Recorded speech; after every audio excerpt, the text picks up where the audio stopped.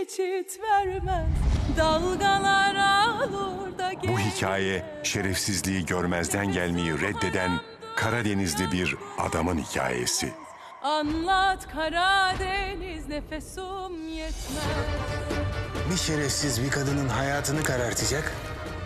Adam olan adam da buna sessiz kalacak değil mi? Yok öyle dünya. Önce adam ol. Sen anlat